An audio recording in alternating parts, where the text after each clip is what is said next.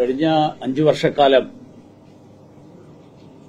പ്രധാനമന്ത്രി നരേന്ദ്രമോദിജിയുടെ നേതൃത്വത്തിലുള്ള കേന്ദ്ര സർക്കാരിൽ അംഗമായി പ്രവർത്തിച്ച ഈ കാലഘട്ടത്തിൽ ഏറ്റവും സന്തോഷവും സംതൃപ്തിയും നൽകിയിട്ടുള്ള ദൌത്യം വിദേശത്ത് അകപ്പെട്ട വിദേശത്ത് ദുർഘട സാഹചര്യങ്ങളിൽ ഉണ്ടായിരുന്ന ഇന്ത്യൻ പൌരന്മാരെ തിരിച്ചെത്തിക്കാൻ വേണ്ടി നടത്തിയ ശ്രമങ്ങൾ ആ ശ്രമങ്ങളിൽ പങ്കാളിയാകാൻ സാധിച്ചു എന്നുള്ളതാണ്.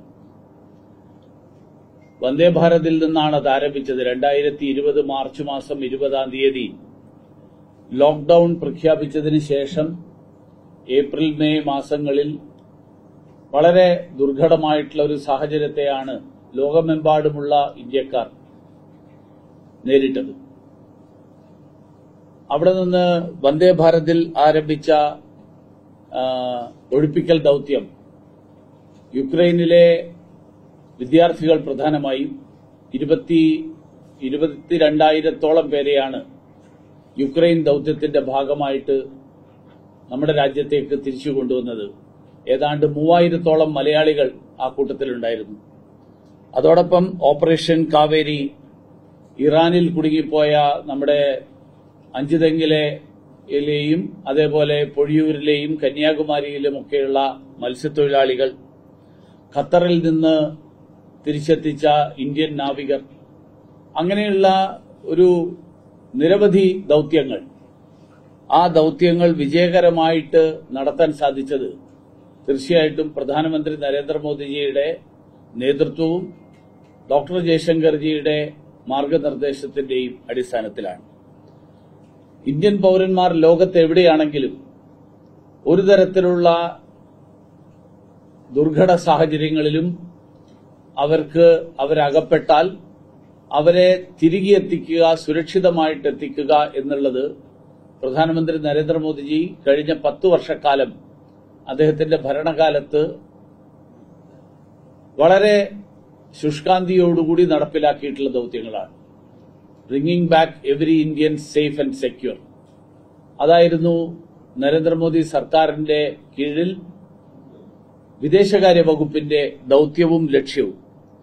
വാസ്തവത്തിൽ യുക്രൈനിൽ നിന്ന് തിരിച്ചുകൊണ്ടുവന്ന വിദ്യാർത്ഥികളുടെ കാര്യത്തിൽ ആദ്യഘട്ടങ്ങളിൽ ഉണ്ടായിരുന്ന ഒഴിപ്പിക്കലിനേക്കാൾ എത്രയോ ദുർഘടമായിരുന്നു. അവസാന ഘട്ടത്തിലെ ഖാർക്കീവിൽ നിന്നും സുമിയിൽ നിന്നും ഉള്ള ഒഴിപ്പിക്കൽ. യുക്രൈന്റെ കിഴക്കൻ ഭാഗത്തുള്ള ഈ രണ്ട് പട്ടണങ്ങളിൽ നിന്ന് ഇരുപത്തിനാല് മണിക്കൂറിനകം ഖാർക്കീവ് വിടണം എന്നുള്ള അവിടുത്തെ സംഘർഷത്തിന്റെ പശ്ചാത്തലത്തിൽ റഷ്യൻ സേന നൽകിയ അന്ത്യശാസനത്തിന്റെയൊക്കെ പശ്ചാത്തലത്തിൽ അവിടെ നിന്ന് ഏതാണ്ട് ഒരു ആയിരത്തി അറുന്നൂറ് കിലോമീറ്റർ ദൂരം കരമാർഗം സഞ്ചരിച്ച് ഇവരെ എല്ലാവരെയും കുട്ടികളെ മുഴുവൻ റുമാനിയയുടെയും ബൾഗേറിയയുടെയും പോളണ്ടിന്റെയും അതിർത്തികളിലേക്ക് എത്തിക്കുക. യുക്രൈന്റെ കിഴക്കൻ ഭാഗത്ത് നിന്ന് യുക്രൈന്റെ പടിഞ്ഞാറൻ ഭാഗത്തേക്ക് എത്തിക്കുക എന്നുള്ളത് ഈ യുദ്ധത്തിനിടയിലൂടെ സുരക്ഷിതമായിട്ട് എത്തിക്കാൻ സാധിച്ചു എന്നുള്ളത് ബഹുമാനായിട്ടുള്ള പ്രധാനമന്ത്രിജിയുടെ ലോകം മുഴുവൻ പരന്നു കിടക്കുന്ന അദ്ദേഹത്തിന്റെ ദൃഢമായിട്ടുള്ള വ്യക്തിപരമായിട്ടുള്ള ബന്ധങ്ങൾ നയതന്ത്ര ബന്ധങ്ങൾ അതിന്റെ ഫലമായിട്ടാണ്. അതുകൊണ്ട് തീർച്ചയായിട്ടും രക്ഷപ്പെട്ടു വന്ന മുഴുവൻ ആൾക്കാരും പ്രധാനമന്ത്രി നന്ദി മോദിജിയോട് ഏറ്റവും കൃതജ്ഞതയുള്ളവരാണ് എന്നെനിക്ക് സംശയമില്ല. അതേപോലെയാണ് സുഡാനിൽ നിന്ന് രക്ഷപ്പെടുത്തിയത്. സുഡാനിൽ നിന്ന് നൈറ്റ് ലാൻഡിംഗ് ഇല്ലാത്ത സാഹചര്യത്തിൽ നൈറ്റ് ലാൻഡിംഗ് ഫെസിലിറ്റി ഇല്ലാത്ത സ്ഥലത്ത് ഇന്ത്യൻ എയർഫോഴ്സ് തീപ്പന്തങ്ങൾ കത്തിച്ചു വെച്ചാണ് അവിടെ കാത്തു നിന്ന ആളുകളെ മുൻകൂട്ടി പ്ലാൻ ചെയ്ത ആളുകളെ ലാൻഡ് ചെയ്ത് അവരെ പിക്കപ്പ് ചെയ്ത് ഇവാക്യുവേറ്റ് ചെയ്തു. അപ്പൊ അങ്ങനെയുള്ള ഏറ്റവും ദുർഘടമായിട്ടുള്ള സാഹചര്യങ്ങളിൽ മുഴുവൻ ആളുകളെയും തിരിച്ചെത്തിക്കാൻ സാധിച്ചു എന്നുള്ളത് ഒരുപക്ഷെ ലോകചരിത്രത്തിൽ ലോക ചരിത്രത്തിൽ തന്നെ സമാനതകളില്ലാത്ത ഒരു ഇവാക്യുവേഷനാണ് വിദേശകാര്യ വകുപ്പിന്റെ ഭാഗം എന്നുള്ള നിലയിൽ ഡൽഹിയിൽ twenty four into seven round the clock പ്രവർത്തിക്കുന്ന നമ്മുടെ ഓപ്പറേഷൻ റൂം അല്ലെങ്കിൽ അതിനു വേണ്ടിയിട്ടുള്ള twenty four seven control room ആ കൺട്രോൾ റൂമിൽ പ്രവർത്തിച്ച വിദേശകാര്യ വകുപ്പിലെ ഉദ്യോഗസ്ഥന്മാർ.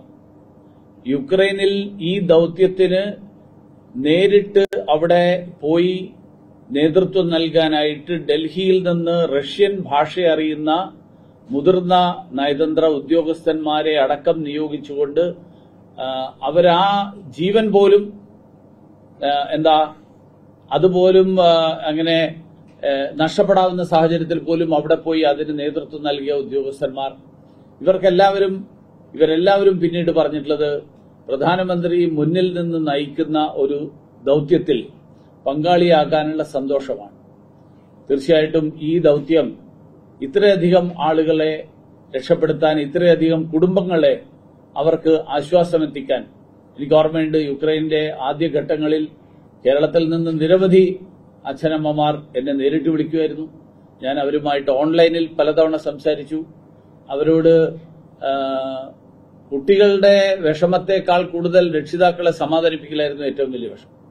കാരണം കുട്ടികൾ അവിടെയുള്ള പ്രശ്നങ്ങൾ അവർ നേരിട്ട് ഫീൽഡിൽ നേരിടുമ്പോഴും രക്ഷിതാക്കൾക്ക് അവരുടെ ഭാവിയെക്കുറിച്ചിട്ടുള്ള ആശങ്ക ആശങ്കയിൽ അവരെ രക്ഷ- അവരോട് അവരെ സമാശ്വസിപ്പിക്കുക എന്നുള്ളത് ഏറ്റവും വിഷമായിരുന്നു അവർക്കൊക്കെ ഒരു തരത്തിൽ ആത്മവിശ്വാസം നൽകാൻ സാധിച്ചു എന്നുള്ളത് വളരെ ചാരിതാർത്ഥത്തോടുകൂടിയാണ് ഞാൻ ഇപ്പോൾ ഓർക്കുന്നത്.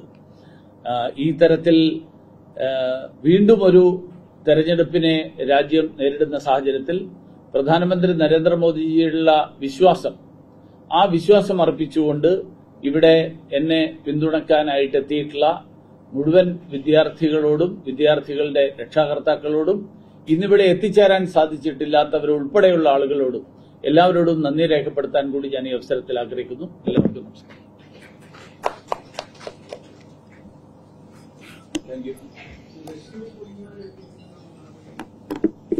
റഷ്യയിൽ മലയാളികളായിട്ടുള്ള നാലു പേരാണ് ഇപ്പോ അകപ്പെട്ടതായിട്ട് നമ്മുടെ കയ്യിലുള്ള വിവരം. അതിൽ രണ്ടുപേർ ഇന്ത്യൻ എംബസിയിൽ മോസ്കോയിൽ സുരക്ഷിതരാണ്.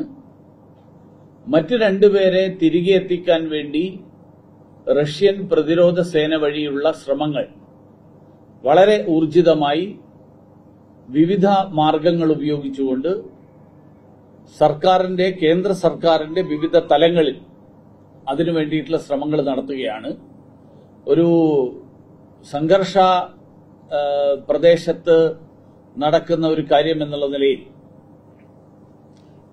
ഒരു കോൺഫിഡൻഷ്യൽ ആയിട്ടുള്ള ധാരാളം കാര്യങ്ങൾ അതിൽ ഉൾപ്പെട്ടിട്ടുള്ളതുകൊണ്ട് അത് എങ്ങനെയൊക്കെയാണ് അതിന്റെ ശ്രമങ്ങൾ നടക്കുന്നത് എന്നുള്ളതിന്റെ വിശദാംശങ്ങൾ ഈ ഘട്ടത്തിൽ വെളിപ്പെടുത്താൻ പരിമിതികളുണ്ട്.